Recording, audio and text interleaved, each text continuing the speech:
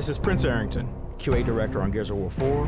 In this video, we'll take you through each of the three maps in the Gears of War beta, Harbor, Dam, and Foundation. Harbor is a dark and rainy map set during a stormy night on Sera. This map heavily rewards crossing at range to secure positions and offers multiple ways to enter lanes from unexpected angles. On the front of the docks is the drop shot spawn, where ranged weapons have a major influence in map control. Using lancers and hammerbursts in this area can really punish players rushing for the weapon. The middle of the map is divided into a low and a high side. The low side is a great flanking route for the front of the docks, and the frags located here can help you influence fights on either side of the map. Torque bow and long shot spawn at the rear of the boat. The pillars here provide perfect cover for Gnasher fights, and the front of the boat offers an effective flank to surprise the enemy team. If you manage to acquire one of these power weapons at the back of the boat, don't be afraid to move with them.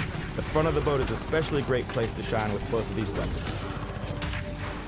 But be ready to turn and fight close quarters when flanked from behind. Dam is aptly named for the huge dam that dominates the horizon. The combat in this map is split into two distinct areas that both have equal importance, the crane and the platform. The platform is a key part of this map.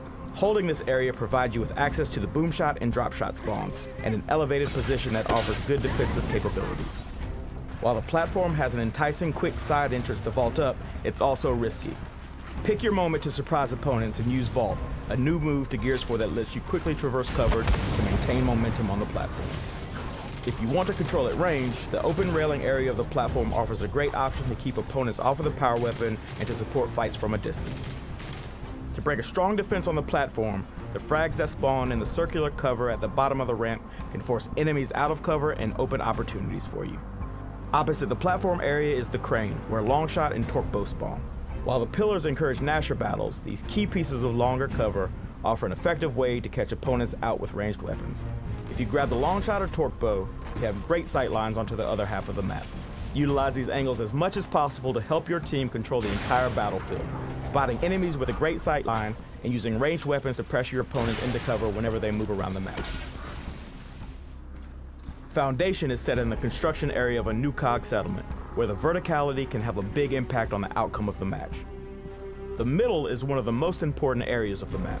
Controlling this area not only provides two flanks to both of the power weapon areas, but also gives you a juicy reward of frag grenades. The middle also provides options for both ranged and Gnasher users. Gnasher users should stick to the pillars to outmaneuver opponents, while the raised areas provide a strong position to rain down Lancer fire on any players caught in the open. The torque bow spawns near the statue on the high side, and the cover here gives you a multitude of options. If you need to break a deadlock, a flank from middle or up the stairs or along the balcony lane can be an effective option. The balcony itself is a great place to use a power weapon or ranged weapon to take out any opponents in the middle or boom shot area. On the low side, the boom shot and drop shot spawn in the middle of this enclosed area. Fights here are fierce, so use smoke grenades to cover your push to the control panels to pressure opponents. Rushes from the middle are often visible at the last minute, so always be aware of your teammate's location in case the middle flank isn't covered. And that's it for a beta map overview. Now it's down to you. Be sure to check out the rest of our guides if you're looking for more Gears of War 4 beta tips and tricks. Good luck out there.